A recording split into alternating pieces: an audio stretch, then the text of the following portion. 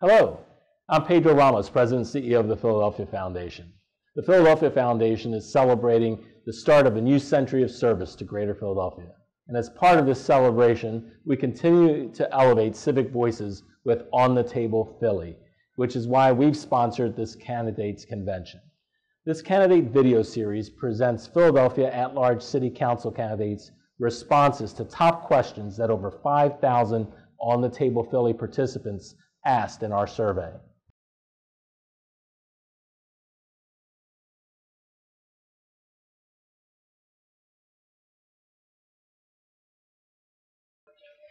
My name is Lauren Vidas. I'm running for City Council in the 2nd District.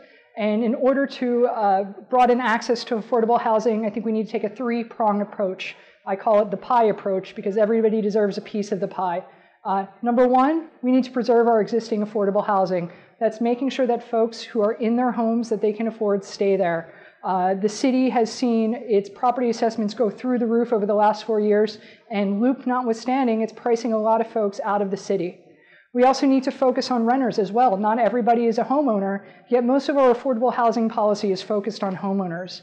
I would work with, uh, work with the revenue department to come up with a plan to incentivize uh, affordable rental units uh, with landlords, whether that's giving them a tax abatement instead of developers to uh, agree to preserve the long-term affordability of rental units. We also need to incentivize the creation of new affordable units. Um, right now, the city's inclusionary zoning bill only covers 13% of the city of Philadelphia. We're leaving a lot of money on, uh, on the table that would otherwise go to the Housing Trust Fund, and we're leaving a lot of units uh, not getting built because they're not covered by the inclusionary zoning bill. And lastly, we need to experiment. We need to be bold.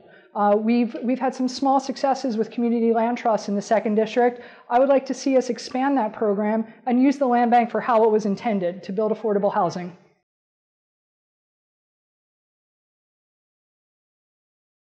Learn more at onthetablephl.org or at the Philadelphia Foundation website, philafound.org. And look out for our next On the Table Philly on October 17th, 2019.